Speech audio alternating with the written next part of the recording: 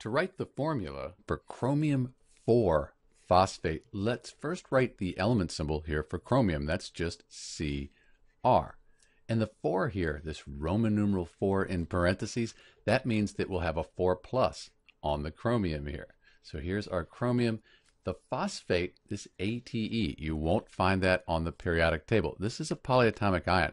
So you either memorize that the phosphate ion is PO4 and has a charge of 3 minus, and that's on the whole phosphate ion.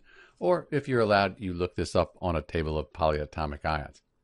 So because chromium is a metal, it's a transition metal, and then phosphate, that's a group of nonmetals, a polyatomic ion, we have an ionic compound here. So these charges, these charges here, they have to balance, give us a net charge of zero. We can use something called the crisscross method to make that a lot easier. We'll move the 3 down here, and the 4 will move that out here. Let's get rid of these symbols.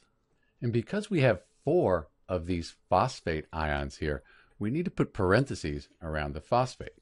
So that makes this the formula for chromium 4 phosphate, Cr3PO4 4. But let's check our work real quick.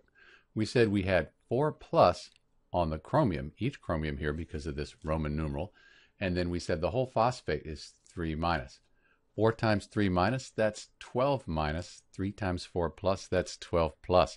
These two numbers, they add up to 0, give us a net charge of 0. So this is the correct formula for chromium 4 phosphate. This is Dr. B, and thanks for watching.